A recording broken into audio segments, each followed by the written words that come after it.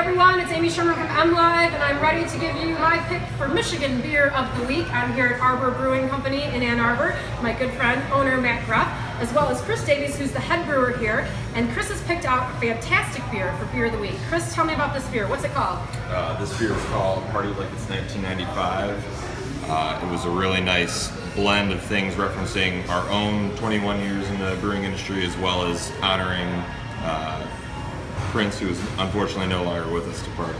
Right, but this is a great tribute to him. Matt, what do you like about this beer?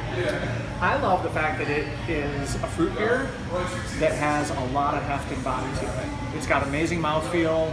It's a fruit beer that's a beer first and with some nice fruit aftertones. And the fact that it's the first wheat wine we've ever done, it's great to be in business for 21 years and still be, you know, doing new beer styles. That is that is a very different beer style, a wheat wine. Why did you decide to go with a wheat wine, Chris?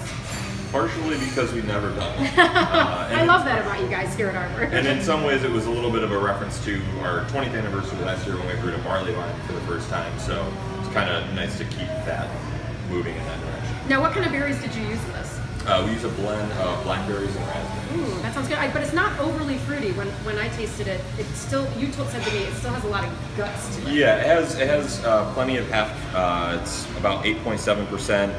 Uh, it has some bitterness. Uh, it has some, you know, it, you can feel it on your palate. It's not a, a weak or a wimpy beer by any uh, No, stretch of the it definitely has a good kick of hops in there. And what kind of hops did you use in this beer? Uh, we use uh, Cascade and Citra, so Well, that may be why I like it so much. I like me some citra. myself as well. it's very, very delicious. Now, how long will uh, Party Like It's 1995 be on tap, do you think? That depends on how Quickly, I drink all of it today. How much you drink today. Uh, it depends on how busy our street party, I imagine, on uh, Friday would be. So That's true. You guys do have a street party coming up this Friday, tonight actually. Uh, what can people expect at the party? Uh, they can expect a ton of fun, a ton of beer, um, and since the brew pub is turning 21 and can now legally drink, we, we don't have to slide beers under the table to our brew pub anymore.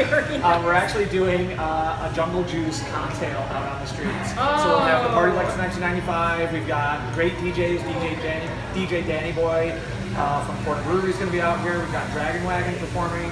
This is going to be a phenomenal street. Oh my gosh, that's happening tonight, Friday. People want to get more information about Arbor Brewing and all the cool things you have going on. Where should they go? They should go to www.arborbrewing.com Awesome. or find us on Facebook. That's an easy way to do it. I love it. Well, Chris, Matt, thank you so much for joining me, and cheers to our Michigan Cheers. Beer of the Week.